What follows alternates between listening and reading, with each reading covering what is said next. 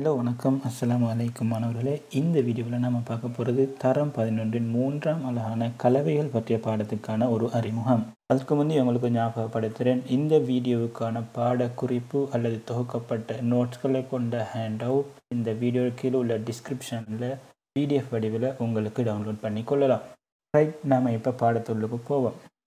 ஆரம்ப வகுப்பில் நாங்கள் சடப்பொருட்கள் பற்றி படிச்சிருக்கிறோம். இந்த சடப்பொருட்களை எங்களுக்கு பிரதானமாக இரண்டு வகைப்படுத்தலாம். ஒன்று தூய பதார்த்தங்கள் மற்றது கலவைகள்.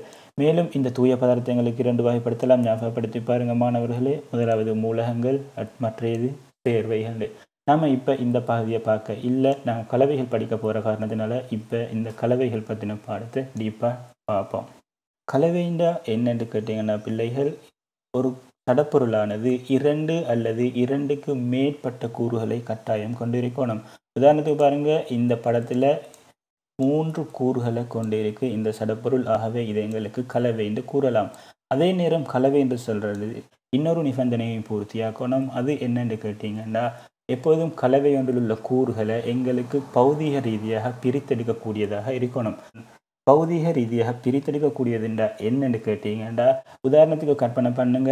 சீனியையும் நீரையும் சேர்த்து சீனி கரைசல் ஒன்று செய்கிறோம். அதை செய்ய எடுக்கிற நேரம் நாம் பெற்றுக்கொள்கிற மூலப்பொருள்களான சீனி திண்மமாகவும் நீர் திரவமாகவும் காணப்படும். ரைட் இப்போ எங்களுக்கு இறுதியாக சீனி கரைசல் கிடைச்சாச்சு. இப்போ இதில் சீனியும் நீரும் கரைந்து இருக்கு பௌதிக ரீதியாக பிரித்தல்னா என்னண்டா? இப்போ இங்கே உள்ள நீரையும் சீனியையும் அது ஆரம்ப நிலையில் ஆரம்பத்தில் என்ன நிலையில் இருந்துச்சோ அதே நிலையில் எங்களுக்கு திருப்பியும் வேறுபடுத்தி எடுக்கக்கூடியதாக இருக்கணும்.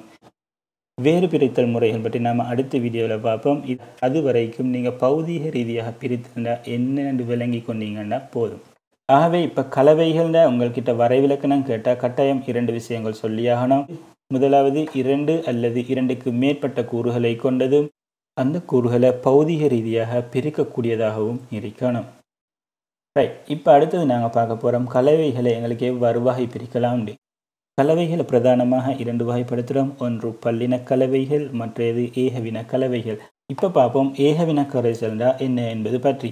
ஏதாவது ஒரு கரைசல் அல்லது ஏதாவது ஒரு கலவை அதை பார்த்ததும் எங்களால் அதில் உள்ள கூறுகள் என்ன என்பது பற்றி எங்களுக்கு தெளிவாக கூற முடியாமல் இருந்துச்சுண்டா. அதை நாம் சொல்கிறோம் ஏகவினமான கலவைண்டு உதாரணத்துக்கு பாருங்கள் நீரையும் சீனியையும் சேர்த்து ஒரு சீனி கரைசல் தான் செய்கிறாங்க இந்த கரைசலில் ஆரம்பத்தில் எங்களுக்கு நீரையும் சீனியையும் வெவ்வேறாக பிரித்தறியக்கூடியதாக இருந்தாலும் அது கரைசலாக கலக்கப்பட்ட பின்பு எங்களுக்கு அதை வேறு பிரித்து அறிய முடியாமல் இருக்கு. ஆகவே இந்த மாதிரியான கலவைகளை நாங்கள் ஏகவினமான கலவைகள் என்று சொல்கிறோம் அதே நேரம் ஏகவின கலவைன்றது இன்னும் ஒரு நிபந்தனையை பூர்த்தி செய்யணும். அதாவது அந்த கரைசலில் உள்ள கூறுகள் யாவும் எங்கும் சீராக பரம்பி இருக்கணும். உதாரணத்துக்கு பாருங்க இங்கே நீரையும் சீனியையும் சேர்த்து நாங்கள் ஒரு சீனி கரைசல் செஞ்சுருக்கிறோம். இந்த சீனி கரைசலில் இந்த ரெட் கலரில் காட்டியிருக்கிறது நீர்ந்து கருதினீங்கண்டா இந்த க்ரீன் கலரில் காட்டியிருக்கிறது தீனியாக இருக்கும். அதாவது எல்லா இடத்துலையும் சீராக துணிக்கைகள் பரம்பி இருக்கும். எல்லா இடத்துலையும் இயல்புகளும் சீராக பரம்பி இருக்கும். இந்த புள்ளியில் எவ்வளவு இனிப்பு இருக்கிறதோ அதே அளவு இனிப்பு தான் இந்த புள்ளிலையும் இருக்கும் என்பது தான் இயல்புகள் சீராக பரம்பி இருக்கு என்பதற்கான ஒரு உதாரணம். ஆகவே ஏவின கலவையில் வரைவிலக்கணம் எங்கள்கிட்ட கேட்டாங்கண்டா கட்டாயம் இரண்டு விஷயம் சொல்லி ஆகணும். முதலாவது அவதானிப்பதன் மூலம் ஆக்கக்கூறுகளை ஒன்றிலிருந்து ஒன்று வேறு பிரித்து அறிய முடியாததும் ரெண்டாவது பாயிண்ட் சொல்லி ஆகணும். கலவையின் எல்லா பகுதிகளிலும் அதன் இயல்புகளும் கூறுகளும் சமமாக உள்ள கலவைகள் தான் ஏகவினமான கலவைகள் என்று சொல்கிறது ரைட் அடுத்தது நாங்கள் பார்ப்போம். பல்லின கலவைண்டா என்னன்னு. பல்லின கலவைன்றது ஏகவின கலவைக்கு எதிர்மாறான ஒரு விஷயம். அதாவது இங்கே அவதானிப்பதன் மூலம் அதில் உள்ள கூறுகளை எங்களுக்கு தெளிவாக வேறு பிரித்து அறியக்கூடியதாக இருக்கும். அதே போல் இன்னும் ஒரு நிபந்தனையும் இருக்குது இதுக்கு இங்கே இங்கே கலவையில் உள்ள கூறுகள் சீராக பரம்பி இருக்காது. அதை இன்னும் தெளிவாக சொல்கிறதாக இருந்தால் பல்லின கலவையில் உள்ள கூறுகள் ஒவ்வொன்றும் வெவ்வேறு அவத்தைகளில் காணப்படும். இங்கே அவத்தைகள் என்று சொல்வதன் மூலம் கருதப்பட்டது என்னன்னு சொன்னால் இந்த ஒவ்வொரு கூறுகளும் வெவ்வேறு பகுதிக நிலைமைகளில் இருக்கிறதோட கரைசலில் வெவ்வேறு பகுதிகளில் பரம்பி கிடக்கும். இந்த படத்தை பாருங்க. இது ஒரு பல்லின கலவைக்கான உதாரணம். இங்க கூறுகள் சீரானதாக பரம்பி இல்லை. ஒவ்வொன்றும் ஒவ்வொரு பிரதேசத்துல இருக்கு. ஆகவே பல்லின கலவைக்கான வரைவிலக்கணம் எங்கள்கிட்ட கேட்டாங்கன்னா கட்டாயம் இரண்டு விஷயம் சொல்லியாகணும் முதலாவது அவதானிப்பதன் மூலம் கலவையில் அடங்கியுள்ள கூறுகளை ஒன்றிலிருந்து ஒன்று வேறு பிரித்து அறியக்கூடியதும் அதே நேரம் அவை ஒவ்வொன்றும் வெவ்வேறு அவத்தைகளில் காணப்படுவதுமான கலவையை தான் நாம் சொல்கிறோம் பல்லின கலவை இது பல்லினக்கலவைக்கான சில உதாரணங்கள் ஈஸியான உதாரணங்கள் உங்களோட பாடப்புத்தகத்தில் தரப்பட்டுள்ள உதாரணங்களை தான் நான் இங்கேயும் சேர்த்திருக்கிறேன். அடுத்து நாம் பார்க்க போகிறது ஒரு கலவையை எப்படி குறிப்பிடுறது என்று. இப்போ எங்களுக்கு தெரியும் ஏதாவது ஒரு கலவையை தந்தாங்கன்னா அந்த கலவை ஒரு ஏகவினமான கலவையா அல்லது ஒரு பல்லினமான கலவையாண்டு எங்களுக்கு அதை அவதானிப்பதன் மூலம் கூறக்கூடியதாக இருக்கும். அப்படி கூறுற நேரம் அது என்ன மாதிரி பேர் கொண்டு அழைக்கிறன்றதை பற்றி தான் இந்த பாடத்தில் பார்க்க போகிறோம் ஒரு கலவைக்கு பேர் சொல்கிற நேரம் நாம் அந்த கலவை ஏகவினம் கலவையா அல்லது பல்லின கலவையான்றதை சொல்லணும். அதே நேரம் அந்த கலவையில் சேர்க்கப்பட்ட கூறுகள் ஒவ்வொன்றுடையும் பௌதிக நிலைமைகளை கூறணும். இங்கே பாருங்கள் இந்த முதலாவது உதாரணத்தை உங்களுக்கு விளங்கப்படுத்துகிறேன் கோதுமை மாவையும் நீரையும் சேர்த்து ஒரு கலவை செய்கிறாங்க கற்பனை பண்ணி பாருங்கள் ஒரு பாத்திரத்துக்கு நீர் எடுக்கிறேன். அதற்கு கொஞ்சம் கொஞ்சமாக கோதுமை மா சேர்க்கிறேன். அப்படி சேர்க்கிற நேரம் சில கோதுமை துளிகள் நீரில் கரைந்து நீருக்கு வெந்நீரத்தை வழங்கும். அதே நேரம் இன்னும் சில கோதுமை மா துளிகள் கட்டியாக மாறி அங்கும் இங்கும் படைந்து இருக்கும் ஆகவே எங்களுக்கு கிடைக்க போகிறது ஒரு பல்லின கலவைன்றது தெளிவாக தெரியுது. ரைட் அடுத்தது பார்க்க போகிறோம் கோதுமை மாட பௌதிக நிலைமை. என்ன பௌதிக நிலைமையில் இருந்துன்னு பார்க்க போகிறோம் கோதுமை மா பொறுத்த வரைக்கும் அது திண்ம நிலையில் இருக்குது நீர் வந்து திரவமாக இருக்குது ஆகவே இந்த கலவையிட பெயர் குறிப்பிட்ட நேரம் திண்ம திரவ பல்லின கலவை என்று குறிப்பிடணும் அதே போல தான் இங்கே கீழே தரப்பட்டுள்ள உதாரணங்களும் ஈஸியாக இருக்கும். இந்த உதாரணங்களும் உங்களுக்கு ஈஸியான உதாரணங்களாக இருக்கும் என்று நினைக்கிறேன் மாணவர்களே. காபநீர் ஒட்சைட் பொறுத்த வரைக்கும் வாயுவாக இருக்கும். சுடுநீர் ஒரு திரவம். இந்த உதாரணத்தை பார்ப்போம்.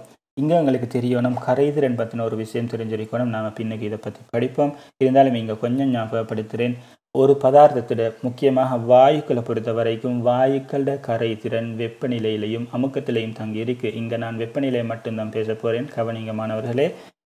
வாயுக்களை பொறுத்த வரைக்கும் வாயுக்களோட கரைதிறன் வெப்பநிலை அதிகரிக்கும் போது குறையிறதோட வெப்பநிலை குறையும் போது வாயுக்களோட கரைதிறன் அதிகரிக்கும். உதாரணத்துக்கு நீங்கள் ஒரு பாத்திரத்தில் நீர் கொதிக்க வைக்கிறீங்க. அப்படி கொதிக்க வைக்கிற நேரம் வெப்பநிலை சிறிது சிறிதாக அதிகரித்து வரும். அந்த நேரத்தில் பாருங்கள் பாத்திரத்துக்குள்ளிருந்து வாயு குமிழிகள் வெளியேறும். அது ஏன் வாயு குமிழிகள் வெளியேறுது என்று சொன்னால் வெப்பநிலை அதிகரிப்பதன் காரணமாக வாயுக்களின் கரைதிறன் குறைகிறது. ஆகவே நீரில் கரைந்துள்ள கார்பனீர் ஒட்சைட கரைதிறன் குறைந்து வாயு குமிழிகளாக நீரை விட்டு வெளியேறும். அந்த நிலைமையை நாம் பார்த்தோம்னு சொன்னால் அந்த பாத்திரத்தின் உள்ளுக்கு நீர் இருக்கும் அதே போல் வாயு குமிழிகள் இருக்கும். ஆகவே இங்கே தொகுதியில் தெளிவாக அவதானிக்கக்கூடிய இரண்டு வகை கூறுகள் இருக்குது ஆகவே இதை நாங்கள் பல்லினக்கலவை என்று சொல்கிறோம் அடுத்த உதாரணத்தை பாருங்க மாணவர்களே. கார்பனீர் ஒக்சைடு வாயுவை குளிர் நீரில் கரைக்கிறாங்களாம். இப்போ இதை கரைச்சா என்ன கலவை கிடைக்கிறன்றதை யோசிக்கணும்.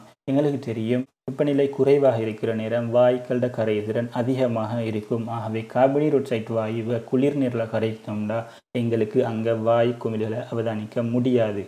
ஆகவே எங்களுக்கு கூறுகளை தெளிவாக அவதானிக்க முடியாத ஒரு கலவை கிடைக்கும். அவை அப்படிப்பட்ட கலவை நாம் ஏகவின கலவை என்று சொல்கிறோம் அதைத்தான் இங்கே ஏகவின கலவைன்னு போட்டிருக்கு.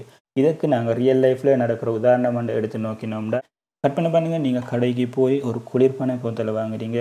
அதாவது ஒரு சோடா போத்தல் எங்களுக்கு தெரியும் சோடா போத்தலில் கட்டாயம் கார்பனீர் ஒட்சைட் கிடைக்கப்பட்டிருக்கின்ற இருந்தும் நாம் அந்த போத்தலை அவதானிக்கிற நேரம் உடைக்க முன்ன அங்கே எங்களுக்கு கார்பனீர் ஆக்சைடு வாயு குமிழிகள் தெரியாது. அதாவது வாயு குமிழிகள் ஏகவீனமானதாக சீராக எல்லா இடத்துலையும் பரம்பி கரைந்திருக்கும். இதுதான் கார்பனீர் ஆக்சைடு குளிர் நீரில் கரைந்ததுக்கான ஒரு உதாரணம். சரிமானவர்களே இதுதான் கலவைகளுக்கான அறிமுகம். உங்களுக்கு இது விளங்கி இருக்கும் நம்புகிறேன் இந்த வீடியோ உங்களுக்கு பிடிச்சிருந்துச்சுன்னா லைக் பண்ணுங்கள் கமெண்ட் பண்ணுங்கள் அதே போல் உங்களோட நண்பர்களுக்கும் பார்க்குறதுக்கு ஷேர் பண்ணுங்கள் கலவைகள் பார்ட் டூ வீடியோ இன்ஷால்லா விரைவில் நான் அப்லோட் பண்ணுவேன். அது வரைக்கும் இந்த சேனலை சப்ஸ்கிரைப் பண்ணி பெல் ஐக்கனை கிளிக் பண்ணுங்கள் நான் வீடியோ அப்லோட் பண்ணின உடனேயே உங்களுக்கு நோட்டிஃபிகேஷன் வரும். மீண்டும் அடுத்த வீடியோவில் சந்திப்போம்.